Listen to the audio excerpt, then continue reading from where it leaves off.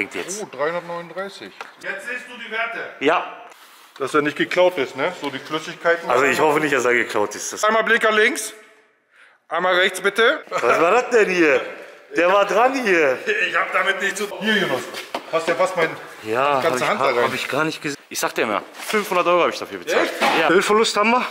Also er ist ja sowieso nicht angemeldet, also kann ich den nicht stilllegen. Ja. Der ist ja abgemeldet.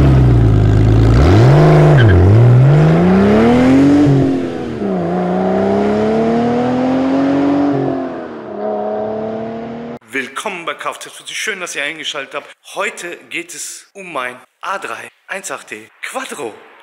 So, heute ist Donnerstag, heute ist TÜV-Tag und gleich kommt der TÜV-Prüfer, mit dem ich schon seit zehn Jahren zusammenarbeite. Wir haben schon ein, zwei Termine. Da werde ich ihn mal fragen, er vielleicht Lust hat, meinen Quattro für 500 Euro einfach mal spontan zu prüfen. Aber er weiß nicht, wie viel ich es gekauft habe, dass es ein Quattro ist, dass es ein Turbo ist, wie gut der noch im Zustand ist. Oder ist er eigentlich gut im Zustand? Oder sind einfach ein paar Sachen, was ich selber nicht gesehen habe. Und er guckt sich das natürlich komplett mit einem Ingenieursblick an und nicht mit einem Kfz-Meisterblick.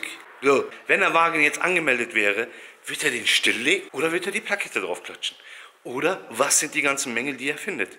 Und lasst dir natürlich ein bisschen Liebe da, das ist für mich echt ein hammer, hammer geiler TÜV-Prüfer. Hier nochmal schöne Grüße an Jumal. Das erste Problem, Jonas. TÜV-relevant? Ja, das solltest du schon neun dran machen. Was wir hier unter der Motorhaube gucken, ist, was sehr wichtig ist, die 17-stellige Fahrzeugidentnummer. Ja. Hier ist die ja. Den Fahrzeugschein vergleichen, dass er nicht geklaut ist, ne? So die Flüssigkeiten. Also ich hoffe nicht, dass er geklaut ist. Das Ich hoffe mal nicht, dass da eine Änderung drin ist mit Luftfilter. Nee, gar nichts. Hat er gar nicht. Alles fest. Alles fest, Batterie ist Okay. neu. Soweit alles okay. Motorhaube machen wir mal zu. Ja. Wusstest du, dass das ein Turbo ist? 1.8T? Ja, steht da. Habe ich gesehen. Ja, Du kennst das nicht. Guck dir mal den Kilometerstand an und guck Oh. mal, wie der anspringt jetzt. Oh, 339. Ich habe eben, als ich hier reingekommen bin, geguckt, ob das mit dem Airbag, OBS und alle ganzen, die ganzen Kontrollleuchten alle funktionieren. Ja, genau. Wir müssen Das hier angehen und dann wieder ausgehen, ne? Das, was wir hier drin alles gucken müssen, ist alles mit, dass die Windschutzscheibe nicht gerissen ist oder Genau. ein Steinschlag, dass wir die Gurte einmal alle reinstecken gleich. Das mache ich direkt, wenn ich hier einsteige, ja? Dass wir mal gucken, ob das alles hier funktioniert, ne? Das ist hier alles in der STVZO, ist das da alles hinterlegt, was wir alles gucken müssen, ne? Das Aber wie läuft der jetzt für 340.000? also ich bin positiv überrascht, muss ich sagen, ja. Wusstest du auch, Jumabe, ich weiß nicht, ob das jetzt im Fahrzeugschein steht, Ja. das ist ein Quattro. Ja. Bremsen hinten habe ich gängig gemacht und jetzt bin ich mal gespannt, ob die auch halten. Aber was mich wundert hier, ich, ich sehe ja wirklich diese, hast du die im Nachhinein jetzt? Nein, Lenkrad? nein, nein, nein, nein, das ist alles original. Das war noch Qualität früher. Nicht, wir bremsen den, gucken Okay. nicht durch und dann schauen wir mal einmal hoch machen, ja? Jetzt, guck dir das. jetzt siehst du die Werte. Ja, die Werte sind gut. Ja. Und wie ist es? Gut. Ja, der Maestro das aber gut gemacht hier. Handbremse ist gelöst und ist gängig. Und sperrt nicht. Das ist das Geile. Also Bremsen ist top. Ist schon mal gut. Alles okay. So, Jonas, einmal Blicker links, einmal rechts bitte. So, gehst du einmal auf die Bremse, Bremse ist auch gut. Einmal Rückwärtsgang. So, einmal Nebelschluss und Licht an. Nebelschluss aus. Okay. Einmal gucken, Kennzeichenlichtmäßig. Jonas, mach mal bitte an. Licht an. Beide Kennzeichenlichter. Also vorne war alles okay, Lichteinstellhöhe war gut, Leuchtweitenregelung war gut und hinten hast du nur Kennzeichenlicht. Okay, machen wir den einmal bitte hoch. Also ist gut bis jetzt. Lichter sind in Ordnung. So, guck mal, was der Trübel drüber gefunden hat. Hä? Was war das denn hier? Der war dran hier. Ich habe damit nichts zu tun, Jonas. Aber ich sehe ja, hier, hier links haben die mal, ich glaube, einen Unfall gehabt, Jumal, wie du schwer siehst. Ja, sehen wir gleich mal. an der Tür und ich schätze mal, die haben hier einen, ich sag mal mal, das ist so ein Zubehör-Ding, der einfach nicht passt. Okay, den machen wir einmal fest und dann Den ist okay. ich fest, Und mal einmal hoch machen, Jonas, dann gucken wir uns den mal an. Ja, ich weiß doch, dass du es machst. So, dann wollen wir mal weiter gucken. Oh, hast du gesehen? Die Domlager. Also die Domlager sind nicht die besten. Ja, und, und äh, was ich dir sagen kann, die Federn sind nicht original. Hast du Fahrzeugschein? Die sind nicht original, ne? Nein, nein, die sind auch nicht eingetragen. Okay. Also ich hatte keine andere, deswegen habe ich die neue reingeklatscht. Also Die was wir nicht, bis jetzt haben, Lichteinstellhöhe, Federn, Kennzeichenlicht. Okay, Die Bremsscheiben bis sind jetzt. leicht rostig, Genau. aber das kommt vom Stehen. Das, Das ist jetzt nicht schlimm. Die Querlenker sind auch in Ordnung. Profil ist in Ordnung. Reifen, Ja. Reifengröße ist auch in Ordnung. Sehe ich laut. Hat schon Schnee, sind ja Winterreifen, die du schön drauf gemacht hast. Ich habe die zwar nicht drauf gemacht, aber Federn sind nicht gebrochen, Querlenker sind gut, Belege sind okay. Ja, sind gängig, Yunus. Ja, ja, die habe ich auch gängig gemacht. Die Belege sind noch zu 30, 40 Prozent da. Wie gesagt, die Scheiben sind auch hier ein bisschen angerostet, aber das ist ja normal. Das ist okay. Der stand sehr, sehr lange. Ja. Jonas, guckst du mal, dass du hier auch mal was machen kannst? Genau, da, da werde ich auch noch was machen. Aber das ist jetzt auch TÜV-relevant.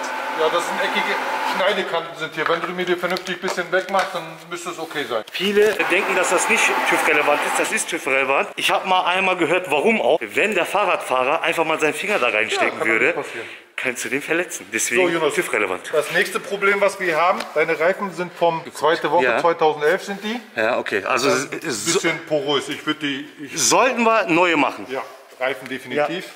Dann haben wir schon mal eine Liste, bisschen, was du alles ausarbeiten musst. Nicht? Nein, undicht ist er nicht. Die Abgas haben wir ja auch nicht gemacht. Macht. Müssen wir mal nachher schauen, ob das mit dem Abgas alles funktioniert. Ja. hat er hier hinten nicht gehabt. Ein bisschen angerostet, Jonas. Ne? Die Achse ist zwar angerostet, aber ist nicht durchgerostet. Das heißt, Ah, okay. ein bisschen bearbeiten, damit das nicht in die andere Richtung geht. Hast ja fast mein Ja, habe ganze ich, Hand da hab, rein. hab ich gar nicht gesehen, ganz ehrlich. Ja, das ist aber eine Krankheit bei denen. Ja, auch Deswegen habe habe ich den, hier- den hier in der Hand. Ja, wusste Hier, schon. hier genauso, ne? Ja, Jonas. aber das ist bei Audi so äh, ja, es ist ja fast für ein Baujahr 2000. 99. Ja, 99. Die Bremsleitung, Jonas? Ja, das ist eine Krankheit, das muss ich erneuern, hatte ich auch im Video erwähnt. Ja. Sieht ihr auch sehr schön, aber nicht durchgerostet. aber es ist nichts durch hier.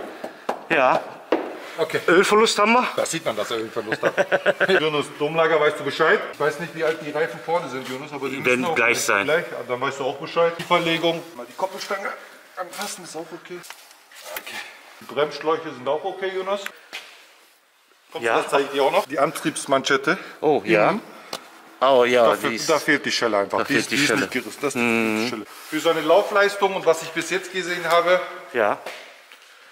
bisschen Arbeit und dann wird er die Hauptuntersuchung laut 29 StVZO bestehen. Was denkst du, was ich für dieses Auto bezahlt habe? Die Fahrzeugindustrie ist ja zurzeit so, dass man wirklich Gebrauchtwagen sehr schwierig bekommt. Ich würde den mit Hauptuntersuchung so bei 1,52 schätzen. Ich sag dir immer, 500 Euro habe ich dafür bezahlt. Echt? Ja. Dann steckst du nochmal 500 da rein und dann bist du bei 1000. Dann hast du ein schönes Auto, ne? Für den Winter, Quattro, Ja. kommst du überall rein, kannst auch wieder rausfahren. Und mal gucken, was für eine Tieferlegung Das ist eine H&R Tieferlegung. Da gibt es bestimmt einen guten Abstand. Da gibt es, habe ich auch. nach Option 3 Genau. eine Einzelabnahme machen können. Da sieht man, dass das ein Quattro ist. Ja, dann das halt ist ne? super. Genau. Aber das ist schon riesig mächtig, ne? Differential Ja. bei Quattro. Bei dem Wetter, was wir letzte Woche in Deutschland gehabt haben, beste, was es gibt. Ja, habe ich auch. Ich habe den ja, Da ein, passiert auch nichts, wenn du irgendwann einen Boiler reinkriegst oder ich hab so. den eine Woche lang gefahren, Jumabe. Das ist ein schönes Auto. Mach Ja. den fertig und dann machen wir eine Hauptuntersuchung nachher. Danke. Aber wir müssen ihn nochmal dann durchgucken Ja, mache ich. und dann schauen wir mal, ja? Alles klar, danke dafür. Alles Gute, Jonas. Also keine Stilllegung. Also er ist ja sowieso nicht angemeldet, also kann ich den nicht stilllegen. Ja. Der ist ja abgemeldet. also VU wäre der nicht, wäre mit erheblichen Mängeln.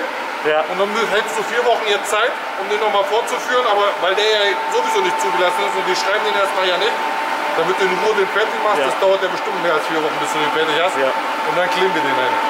Dankeschön, Jumabe. Alles Gute. Danke. Bis dann. Ciao. Ciao. Ich war ja sehr positiv überrascht, wie er reagiert hat oder wie gut der Wagen noch ist. Wir haben uns hier zusammen angeschaut, bis auf diese Löcher. Die Löcher habe ich echt nicht gesehen. Oder vielleicht habe ich die vor dem Video schon gesehen gehabt.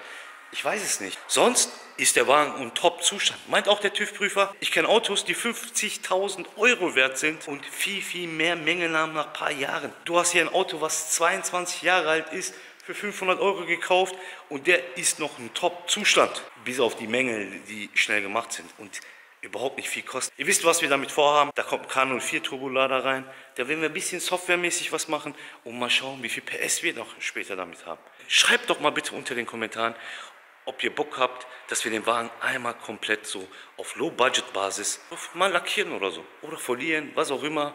So einfach ein bisschen Liebe zurückgeben, weil für 500 Euro steht der Wagen doch sehr, sehr gut da. Der wird ja ein bisschen Boost haben. Wir gehen nicht auf High Level oder so, ne? wir gehen nicht auf äh, 300, 400 PS.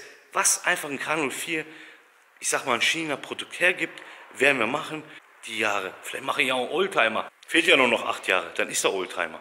Was sagt ihr dazu? Und lasst doch mal ein bisschen Liebe für meinen TÜV-Prüfer da, mit dem ich seit zehn Jahren diese Firma gegründet habe und er immer neben mir stand. Hier noch auch mal von mir ein Dankeschön an meinen TÜV-Prüfer. Der beste Mann, der beste TÜV-Prüfer. Auch schöne Grüße an ihn und ihr habt ja selber gesehen, wie cool der drauf ist. Danke nochmal. So, euch wünsche ich auch einen schönen Tag. Bleibt gesund und haut rein.